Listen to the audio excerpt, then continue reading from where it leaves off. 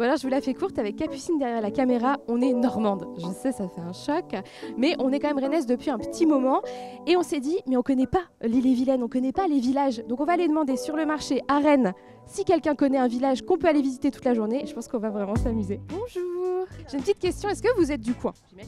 Oui, on est du coin. Est-ce que vous connaissez, en fait vous avez une, une- une idée de commune en Ille et Vilaine qu'on pourrait aller visiter aujourd'hui? Bazouge, la Pérouse. Vous connaissez vous un petit peu? Un tout petit peu, oui. Enfin, j'y suis allée, quoi, c'est tout. Et Qu'est-ce qu'il y a à voir là-bas? Ben, c'est un joli village. Bon, Où que c'est qu'on va? Et ben je crois bien qu'on va à Bazouge la Pérouse. Je t'emmène en voyage. Bazouge. Ok, 45 minutes, ça nous fait arriver à midi 43. Parfait pour manger. Manger? Direction Saint-Malo. Bazouge-la-Pérouse. On est vraiment entre Trans-la-Forêt et Marcilly et Raoul en fait. Je- si tu vois pas, je peux pas te- t'expliquer mieux. Et combien d'habitants à Bazouge la Pérouse? À ton avis? 1200. Un peu plus. Un peu plus. Je dirais 3000. 3000 Ah oui, un peu plus.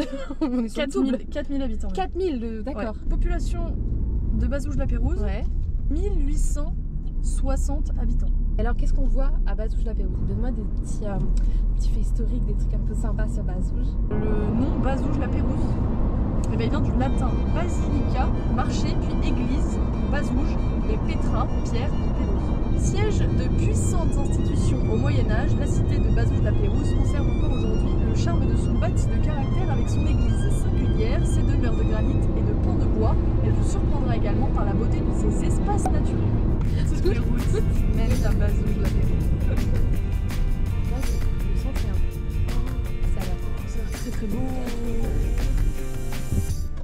On est arrivé à Bazouge-la-Pérouse, comme vous pouvez le constater. On va pas se mentir, on a envie de chuchoter hein, quand même. On entend beaucoup les oiseaux. On s'est fait un ami, c'est un chat. C'est joli en tout cas. La petite dame du marché avait raison, c'est très joli.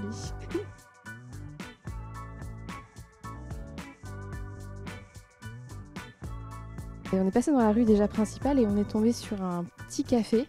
Et on va aller voir euh, bah, ce qu'elle propose et où est-ce qu'on peut manger. Car vraiment, vraiment, on a faim. Bonjour, on filme une, euh, vidéo sur Bazouge la Pérouse. On se demandait qu'est-ce que vous vendez ici et est-ce qu'on vous avez un endroit où on peut euh, se substanter ce midi? Euh, ben là, on est mercredi à Bazouge et le mercredi à Bazouge, il n'y a rien. Donc vous n'êtes pas venu le bonjour. Nous, on n'est pas censé être ouvert. On fait un peu de- de- d'administratif pour notre épicerie participative. Mais quand on voit des passants euh, dans la rue, euh, en plus il fait chaud, on peut pas leur dire Oh non, on n'est pas ouvert, débrouillez-vous. Est-ce que vous pouvez nous montrer un petit peu? Donc on a tout un panel de produits et euh, pour euh, une adhésion symbolique et une participation de deux heures par mois et par foyer, on peut bénéficier de produits bio, locaux, éthiques à des prix grossistes. Et c'est quoi les produits euh, locaux un peu phares euh, qu'on trouve à Bazouge? On a du paumé, on a vendu un pot de paumé tout à l'heure, donc c'est une, c'est une réduction de pommes. Donc euh, du- une réduction de pommes dans du jus de pomme. Alors c'est un truc très traditionnel. En fait, on, pendant 24 heures, on cuit des pommes dans du jus de pomme. On mélange, on, ça s'appelle ramaugé. On ramauge, on ramauge avec un ribot, un grand ustensile en bois. Et, euh, et ça, en fait, c'était euh, à l'époque pour conserver les pommes avoir une pâte à tartiner euh, soit avec euh, du salé ou du sucré et en contrepartie les, les agriculteurs qui avaient leurs vaches vendaient leur beurre et conservaient leurs pommes et leurs pommées pour pouvoir tartiner. Ah, c'est chouette euh, le produit de base phare à Bazouge. Tu vis à Bazouge? Oui, depuis 2018. Euh, et euh, j'ai voulu très tôt m'investir dans Bazouge parce qu'il y a du potentiel. Et là, depuis quelques années, on voit arriver euh, des jeunes couples, des jeunes parents qui ont envie de dynamiser euh, par l'épicerie, par le café associatif. euh, Ça bouge bien quoi. ouais, ça bouge à Bazouge. Ça bouge à Bazouge Tu veux une petite, une petite bière locale? Euh, oui. Ouais, bah deux s'il te plaît, merci beaucoup. Bah oui. euh. La pression.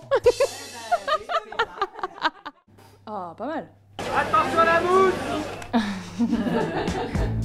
C'est ça avec le, le participatif.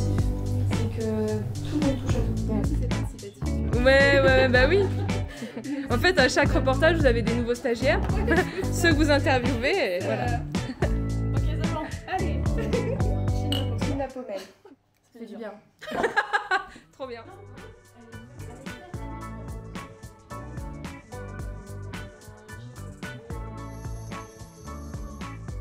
Solène vient de nous dire qu'il y avait un vitrail un petit peu spécial dans l'église qui se trouve juste là.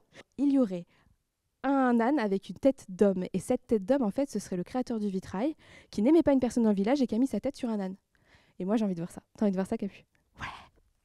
Ouais, on va voir ça. J'ai appris un truc. Tu savais que la forme de cette église est trop chelou. et qu'en fait, la forme extérieure, c'est la plus étonnante et la plus incompréhensible. Pas du diocèse de Rennes, pas de France, mais de tout le monde catholique. de tout l'univers catholique. 3, 4, 5, 6, 7, 8, 9. 9, 9. Dans une église, on rentre par euh, là. Et là, c'est étonnant. Elle nous a dit qu'il y avait un vitrail avec euh, un âne, avec une tête d'humain. Mais il est où? En vrai, c'est quand même une sacrée anecdote. Mais je vois toujours pas d'animaux. Elle nous aurait menti. Bah, Il n'y a pas d'âne. Il n'y a pas d'âne. Bon, Je pense que nous sommes les premières personnes à tenter de trouver un, un vitrail à l'extérieur d'une église quand même. On va pas vous mentir, on a fait le tour à l'intérieur, à l'extérieur et on n'a pas trouvé ce fameux vitrail. Donc on va aller demander à l'office de tourisme directement et je pense qu'ils vont avoir la réponse. Je l'espère.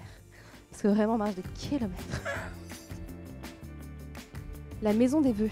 Ce logis est daté de 1723, mais ses origines sont bien plus anciennes. On dit qu'autrefois les voyageurs et les pèlerins venaient déposer un vœu ah, dans le pot accroché à droite de la porte. La tradition perdure. Au pays des fées et des lutins, des enchanteurs, tout peut arriver.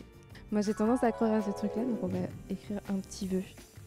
Tu regardes pas, hein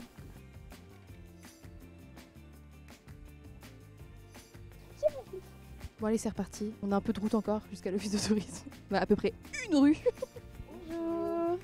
Euh, alors, écoutez, on a une question. Vraiment, on nous a parlé d'un vitrail à l'église avec une, euh, un âne avec une tête d'homme. Vous me confirmez ou pas Hmm, Peut-être. euh, En fait, on, on l'a cherché, on le Oui. cherche encore. Donc, est-ce que vous avez ça quelque part un- ça me dit rien. Avec un, un homme avec une tête d'âne. je Non, non, c'est un, un- un âne avec Un une tête d'homme. une tête d'homme. Qui vous a dit ça? Ah, on a nos sources. Ah ouais, mais- on nous a dit ça au bazar. Je peux y aller avec vous, hein, puisque je fais les visites guidées. Ah oui, bah oui. Allons-y.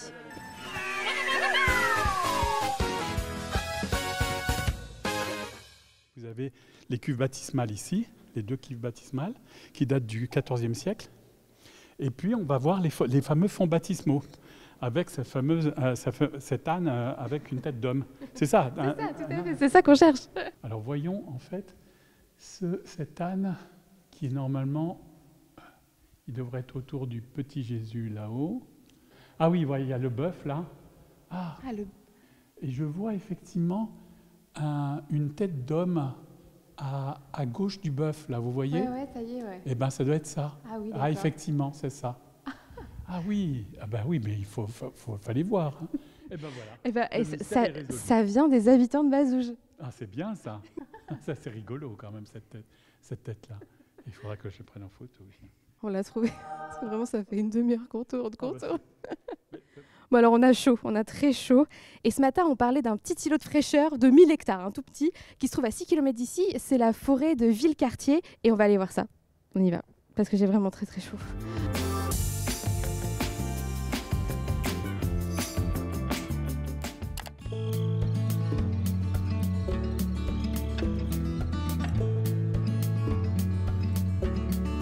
On a rencontré Louis.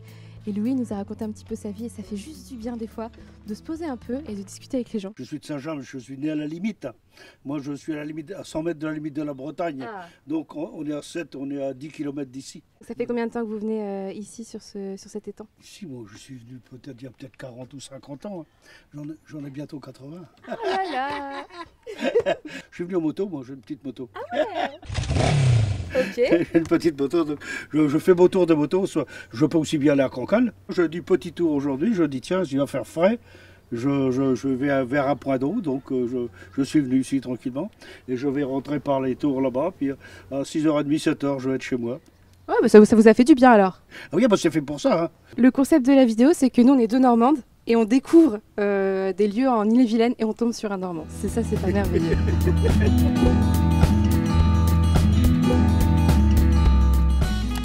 Bilan On est rentré de Bazouge la Pérouse. Qu'est-ce que t'as pensé de Bazouge la Pérouse? Effectivement, comme la dame du marché de Rennes nous l'a dit, c'est un très beau village, c'est très beau, très coloré, beau, ouais. très un peu arti ouais, artiste. Artiste, euh, ouais, complètement. Complètement artiste. Les gens étaient chaleureux aussi, je trouvais. Oui. Après, on était mercredi. Et on a bien compris On est mercredi à Bazouge et le mercredi à Bazouge, il n'y a rien. Comment on t'a Merci à tous d'avoir suivi cette vidéo ben, On espère que cette, euh, ce nouveau concept vous a plu. Et on va refaire ça. Le mois prochain, on part ailleurs, mais on ne sait Où pas est-ce qu'on va, Charlotte Ouais, où que c'est qu'on Où va Où que c'est qu'on va Et ben On on, le saura dans un mois. C'est ciao